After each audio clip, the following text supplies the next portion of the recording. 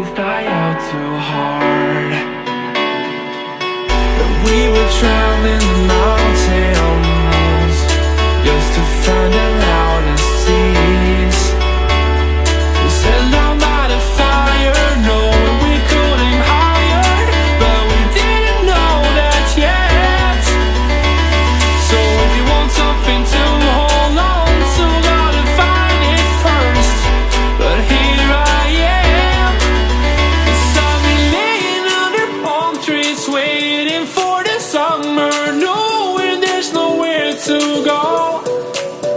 Yes, I am happy.